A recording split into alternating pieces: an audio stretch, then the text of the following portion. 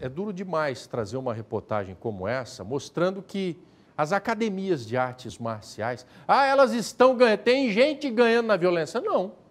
Não é o intuito de nenhum sensei faturar em cima do medo, do desespero. Mas é evidente, isso é palpável, é sólido. Cresceu o número de praticantes de artes marciais porque a mulherada está querendo se defender. Que Deus tenha piedade de nós. Roda. Engana-se quem pensa que aqui o segredo é a força. Que predomina na hora do treino e da luta é a técnica. E cada vez mais as mulheres estão dominando o tatame. E elas entendem do assunto, sabem dar o famoso mata-leão e até a chave de braço. Antigamente a procura era mais para condicionamento físico, para emagrecer, mas hoje a procura é, tem aumentado muito pela defesa pessoal mesmo, né?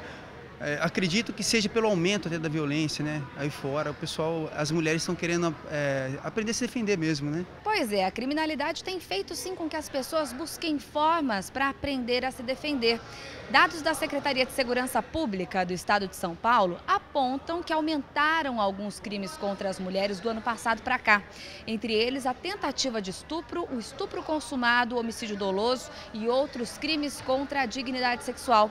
Para você ter ideia, em relação à tentativa de estupro, o aumento foi de 40% nos primeiros oito meses desse ano em relação ao mesmo período do ano passado. Mas os especialistas em segurança sempre orientam: é importante não reagir em um assalto. A reação ao assalto, principalmente com armas, armas de fogo, arma branca, é inviável. Então não faça isso. Então, é, tiver uma ameaça com armas, não reaja, mantenha calma e obedeça ao agressor. E o jiu-jitsu pode ajudar a pessoa a escapar de uma situação de risco. Já teve alguma aluna que sofreu algum tipo de violência e contou isso para você e por isso começou a treinar aqui na academia? Ó, oh, já teve sim. Teve um caso que uh, ela foi, ela estava teclando no celular, que hoje em dia é muito comum, né? E ela foi abordada por uma pessoa que arrancou o celular dela, ela nem percebeu que era, ela achou que fosse até um amigo. E ela virou assim e falou: Ô, oh, meu celular.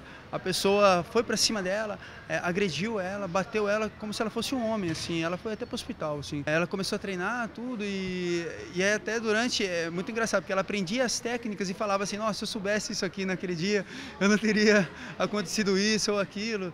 E não pense que jiu-jitsu é só para adultos. Olha só quantas crianças treinam aqui. Como é que é o seu treino? Legal. A Ana Beatriz é filha da Luciene. Ela tem apenas 5 anos e começou a treinar antes do que a mãe. Adora. Ela sai, larga tudo que está fazendo, está na hora do treino, vamos treinar. Ela adora. A gente tem assim assistido muitas reportagens a respeito da violência que tem em Bauru. Então isso foi uma das coisas que levou a gente a querer treinar, tanto meu marido quanto eu e a minha filha também. Hoje, 50 mulheres treinam na academia, bem mais do que no ano passado, quando eram 20 alunas. A Kathleen treina desde 2011 e adivinha por que ela virou adepta dessa arte marcial? Eu acho importante hoje a mulher saber se defender, estar tá preparada. E melhora a autoestima, é, o estilo de vida, tudo que o jiu-jitsu traz.